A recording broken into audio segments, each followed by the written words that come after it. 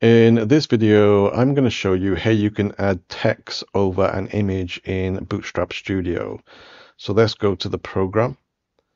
So to do this is not too difficult, though it is a little bit fiddly. So to add text over an image, first of all, I'm going to add one of these one row, one column options. So I'm going to show you several different examples. So this one's just going to be a single image. So once I've added that to the body section, we can now see the column and I'm going to add an image to the column. So just use the search box if you want to find these components. or add the image component to the column either on the left hand side or you can drag it to the actual main space and release. You can now see the image. So double click on it and you can choose an image from your PC. So I'm going to choose this one, select OK. So we need to make it responsive. So with the image selected, go to the options tab on the right hand side and select responsive. And we can now see the, the uh, image is responsive so that it looks like this in a web browser. If the image is big enough and you want it to cover the entire screen, you can also select the container and choose fluid, which should make the image near enough full screen. You have these little spaces between the left and right hand side. You can also get rid of that if you want to. So go to the appearance tab and under padding we can see the padding is set to 12 on the left and right so change it to 0 and that image should now be full width and there it is so to add text over this what we need to do is we want to add a div so add a div to the container and you can now see it down there. And I'm going to add both a heading and a paragraph to the div. You can also add icons and other things as well to this uh, to this section. So add a paragraph as well. So the heading and paragraph are down below so to make them uh, appear over the image what we need to do is select the div then go to the Appearance tab and go down to Position or Positioning. And the top option, you want to change it to Absolute. So nothing's happening, but if we go back and select the container, then go to the Options tab and go down to the Flexbox. And if we use the top options, we can actually change the position of of the uh, the text. You can now see it's been moved around. I just changed the uh, color quickly so it so you can see it better. Just change it to white.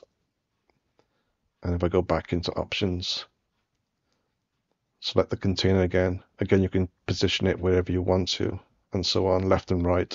Personally, I prefer it to be dead center. So you must do this if you want it to be applied to all the screen sizes do it from the smallest version and it will be applied to all the screen sizes. So I'm just going to reset that and go to the smallest version and then choose the same options. Then that will be applied to all the larger screen sizes. So let's have a quick look in a browser. So you can now see it looks pretty good and it's uh, fully responsive and so on. So let's just add a bit of text to, so it looks more realistic.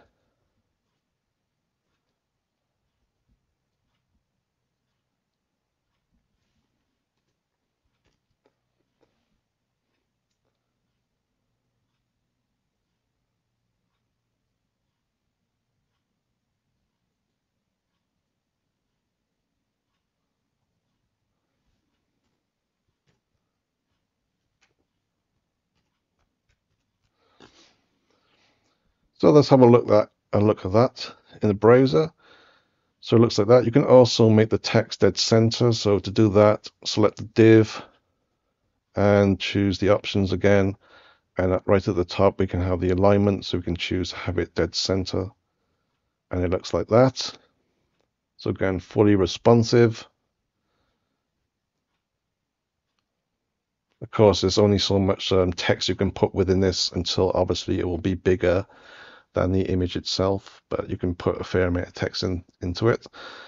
So if you find that the text is hard to read over an image, you can actually add a background around the text. So to do that, select the div and go to appearance and in the background choose a color so I'm going to choose black and to add a bit of transparency add the uh, the slider the second slider we can add a bit of transparency.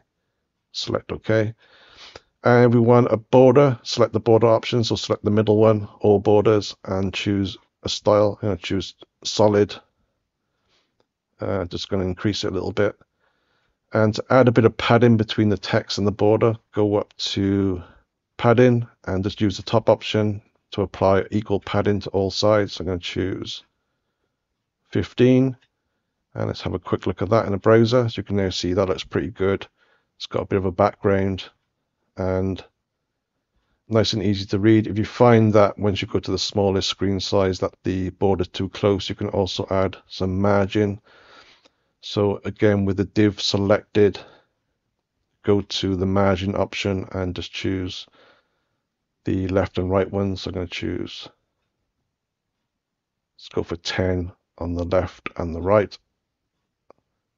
And hopefully that should look better. So you can now see there's a little bit of a margin between the left and right. So that is basically one option to add it to a single image. Another option is multiple images. So I'm going to delete this, delete that. Uh, so this time I'm going to add one row and three columns to the body. And what I'm going to do is going to go into a bigger size a minute so you can see it better. So I'm just going to expand all this. So I'm going to add the image component to the first column and just repeat the same process. Click on it, double click, choose an image. So that needs that image needs to be made responsive. So go to options, choose responsive. You can now see it fits within that column. So I'm just going to repeat the same process for each column. I'm just going to duplicate the image to make things simple and drag it to the column and do the same for the last one, duplicate and just drag it to the last column. So it helps if all the images are the same size. If they're not the same size, then obviously it's going to look a little bit of a, like a mismatch. So when you're doing this, it's ideally best to use images which have the same dimensions. So to add text over these columns, again, same process. Get a div, drag it to the column. So I'm going to drag it to the first column, then add your heading or your paragraph or both. Again, I'm just going to choose both and a paragraph. And again, you can see it's placed below. So select the div, go to appearance, under positioning, choose the top option and choose absolute. Then select the column,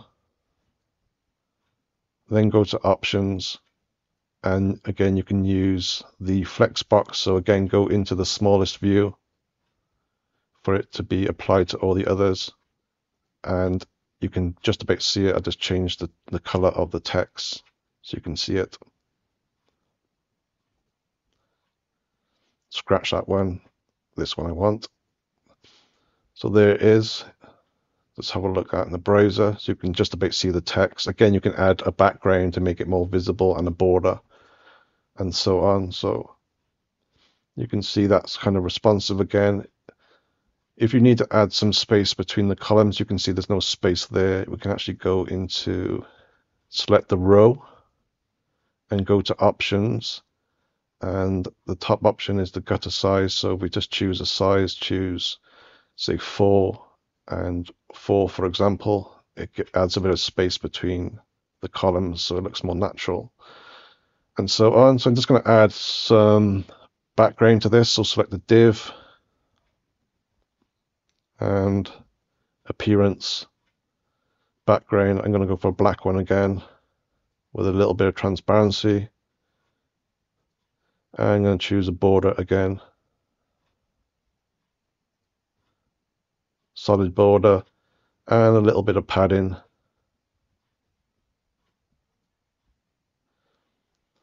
And so on. So it looks like this now. So that's pretty good. You can see it very clearly.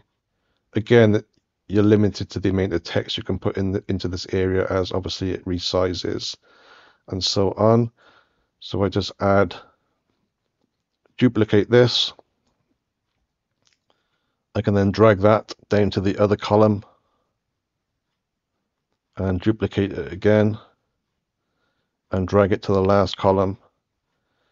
And if we go back into the small size which I'm in, just select the column. So select the second column, options, flex box and just choose a position and do the same for the last column.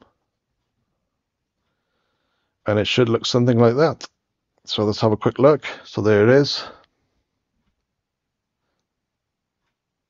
So you probably find on that particular screen size that the images will probably be a little bit too small, especially if you have more text. So you can actually fix that. So what we need to do is just collapse the columns and we need to resize the columns, so we need to reset them. So select the column, set the first one, go to options, and right at the very top you can see the width is a blue color. So if you middle click on your mouse or your touchpad, it should reset them. So middle click and it gets reset. Choose the second column and reset the width. And again, reset the width on the third column. So then it looks like that. So it looks broken at the moment. So Let's close that. If we select the row, we can now choose how many uh, columns we want displayed. So under the options tab, we have the per row option. So click on the arrow to expand it, and we can choose how many columns per row. So the first option is obviously on a mobile phone. So select one, also again one for the second one, maybe two for the third one, and three for LG. So if we go back into the browser, we can now see the different sizes. So you can see the resizing differently now and so on. So, and you can just keep on changing them. So if I want, say, one for MD, go back again, you can see the size. The size has been changed. just like that. And if you need a bit of a padding on the top or the bottom, again, just go and select the container and we can add uh, under appearance. We can change the margin, so top margin, maybe say 20 or so, and again for the bottom, you might want to add 20 or whatever you want basically. So you can now see there's a bit of a margin between the top and anything underneath. So I think that looks pretty good. Again, you can't obviously enter too much text as the, the actual size of the images are pretty small. But certainly, certainly enough. Anyway, so the last option I'm going to show you is a background image. I'm going to delete this. So background image won't be responsive, but you know, it will resize a little bit, but it won't be fully responsive. So for this, again, I'm going to choose one row, one column. And it's going to go to a bigger size so you can see it. So we can actually add a background image to the container itself. So with the container selected, go to appearance and go to background and choose image, add image. Click on the top option, click on the plus sign, and again you can choose an image from your computer. So I'm just going to choose this one. So you can't actually see the image at the moment. So what we need to do is go to the appearance tab again. And at the top, we want to adjust the height. So I'm going to go for roughly 700px. And we can now see the image appears. And to make it full width, go to the options tab and choose fluid and it should look something something like that. And again, if there's any kind of white space on the left or right, just go into the uh, appearance tab and under the padding or margins just adjust the the margins to zero and it should be full width and so on.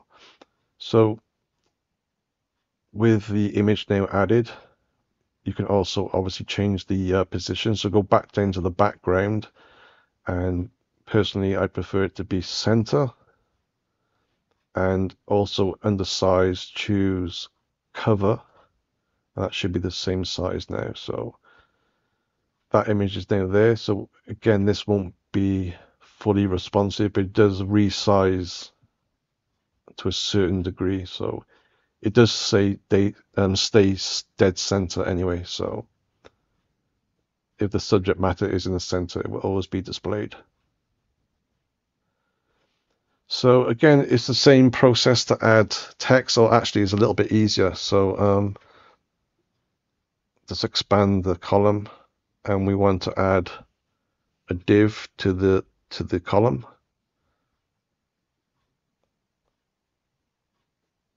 And same process, add a heading and a paragraph or whatever you want. And I'm just going to change the color of that again, change the font color to white so you can see it better. So you don't ha have to change the uh, the uh, the positioning. It's already because uh, it's a background image. The text gets placed over the top of it automatically. So again, to center the text or position it wherever you want to, select the container, go to the options, and Flexbox and just use the options to position it. If you wanted it, say, for example, on the left hand side, but obviously the text is way too close to the edge, what you can do is um, select the div, appearances, and just use the padding option. So choose padding left and you can adjust the padding and so on. So it now looks a bit like that. So again, make sure to apply it to all screen sizes. Make sure you go to the smallest option first, which I always forget to do. So just going to reset that and go to the smallest option and then apply the settings and so on. And that should then be dead center on all screen sizes.